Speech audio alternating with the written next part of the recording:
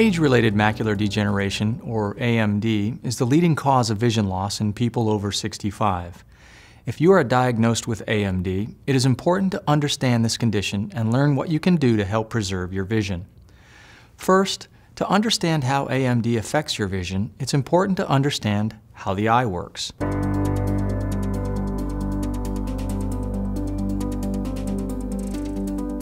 Light rays enter the eye through the cornea, pupil, and lens.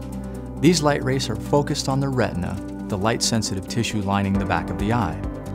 The retina has two areas, the peripheral retina, which gives us our side or wide-angle vision, and the macula, the small area at the center of the retina.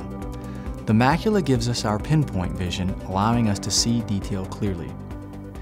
Age-related macular degeneration, or AMD, is a breakdown of the macula, when the macula doesn't work properly, your central vision can be affected by blurriness, dark areas, or distortion. We see this condition affecting many people as they age. There are two forms of AMD. One is the atrophic, or dry form. The other is the exudative, or wet form. About 90% of people who get AMD have the dry form. The retina is made up of many layers that are sandwiched together into a smooth surface. These layers work together, allowing us to see clearly. In people with dry AMD, the layer under the retina, known as the retinal pigment epithelium, or RPE, is affected by deposits called drusen, as well as other age-related changes. These changes may cause vision to get worse over time. Many people develop dry AMD as they age and don't realize it until it's found during an eye exam. In a number of cases, it is very mild and may not cause any symptoms. However, the disease can get progressively worse, which is when people may notice their vision deteriorating. Some people, usually those who have intermediate AMD in both eyes or advanced AMD in one eye, are at a higher risk for developing later stage or wet macular degeneration.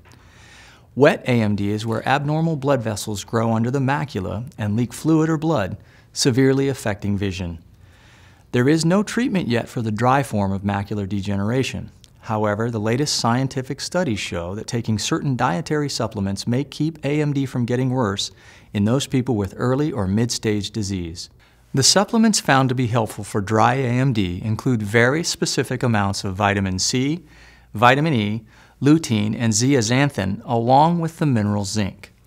Your ophthalmologist can tell you if you're at risk for developing advanced AMD and if supplements are recommended for you. At any stage of AMD, ophthalmologists urge their patients to closely monitor their vision every day for any signs of changes. A basic yet important tool for monitoring your vision is called an Amsler grid. You can use it at home to detect changes in your central field of vision. You simply cover one eye and look directly at the center point of the grid, but observe the vertical and horizontal lines in your side or peripheral vision. Then do the same with the other eye. Typically, vision problems due to AMD would cause some of the straight lines to appear wavy or blurry, or areas to appear dark or even blank. If you notice any new changes in the grid, you should contact your ophthalmologist promptly. Be sure to keep all scheduled appointments with your ophthalmologist. Also, if you notice any changes in your vision, you should call your ophthalmologist right away. Monitoring your vision is a vital step toward the goal of preserving your sight.